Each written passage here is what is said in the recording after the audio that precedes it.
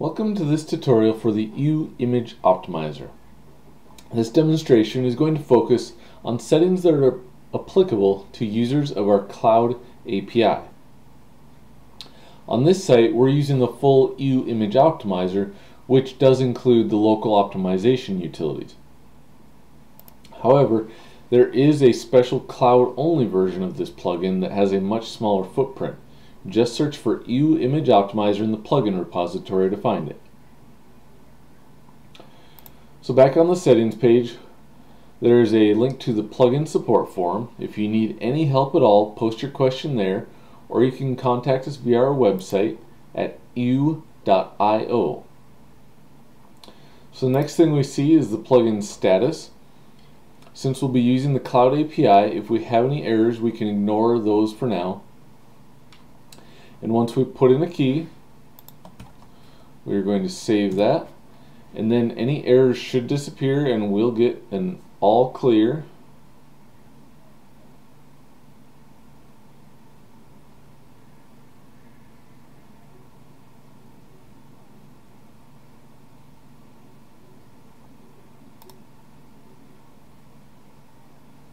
There it is.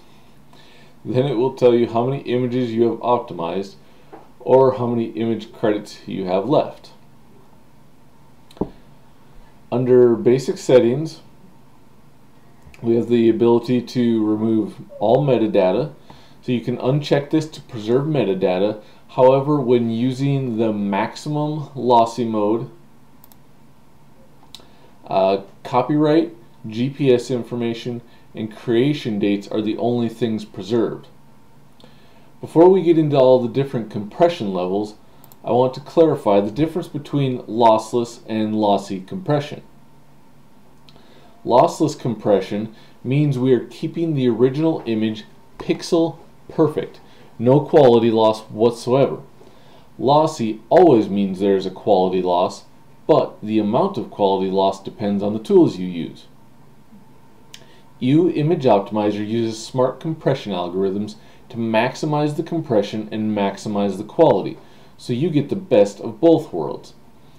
This is in stark contrast to something like Photoshop's Save for Web, or just recompressing your images to JPEG quality 60 or 70, where the quality loss is quite noticeable.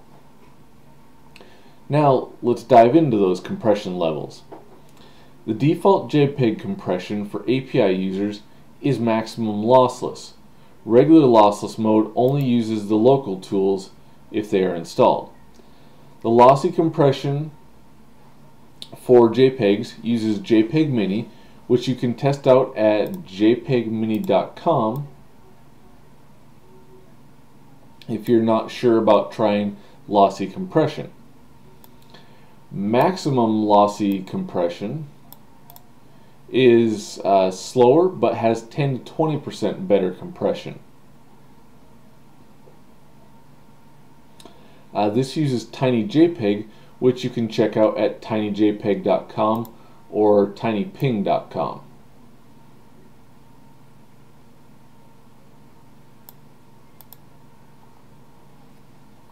The PNG options are similar, except we have two lossless modes here uh, that use the API. If you're the type of person that wants to squeeze every last byte out of your images, you can try out the maximum lossless compression here. The lossy PNG optimization uses pngquant, and the maximum lossy compression uses TinyPNG, made by the same people as TinyJPEG. With our new PDF optimization, you can choose lossy or lossless modes the lossy compression excels in PDFs that contain images, but one area where it doesn't work so well is when you have images of text in a PDF. For those kind of PDFs, it's best to stick with lossless mode. Lastly, we have a throttling feature which allows you to slow down the bulk optimization processes so you don't overload your server. This is highly recommended if you're using shared hosting so that you don't go over your web host's usage limits. Now let's talk about the advanced settings. We'll cover all of these in a moment, but I want to highlight a couple important settings for Cloud API users here.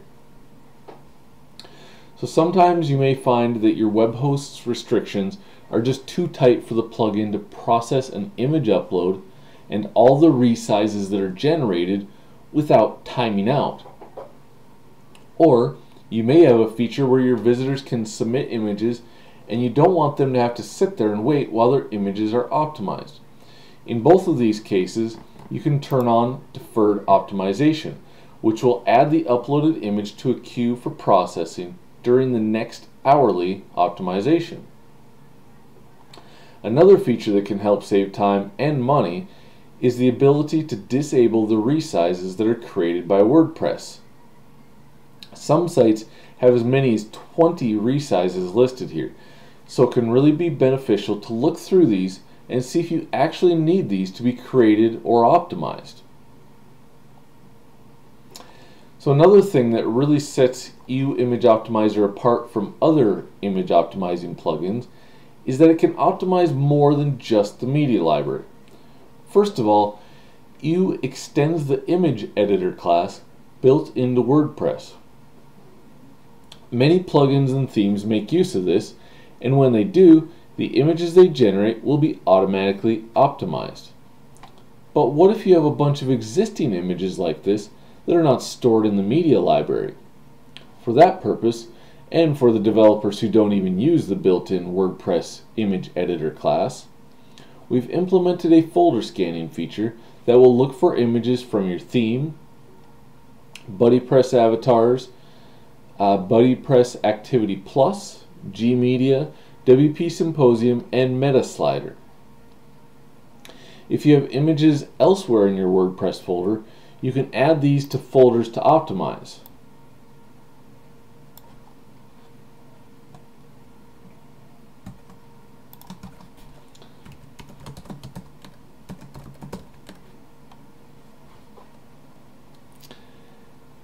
For uh, plugins using the WP Image Editor class, this is a temporary thing.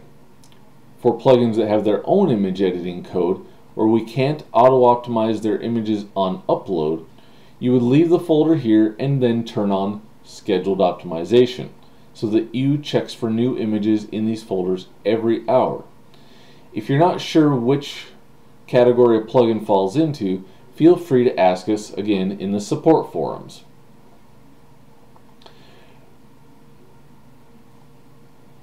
So brand new in EWWW 2.8 is the ability to limit the size of images uploaded to your site. We support two different settings here. One for images uploaded using the media library add new page as well as images inserted via the post and page editors. The other setting will affect any other images which get uploaded indirectly to the media library. This is often the case for theme images like logos, backgrounds, banners, sliders, and so on. If you have a lot of images already and want those to be resized, you can check this next box to make sure the bulk optimizer resizes them. When you do so, it will use the second dimensions for resizing other images. Lastly, we have a few options that let you exclude various images from optimization and even from metadata removal. For information on image conversion, the WebP features, and other aspects of using UIO, you can visit the installation page and check out the other videos listed there. Again, if you need any help, contact us via the support forums or our website at ewww.io. Happy optimizing!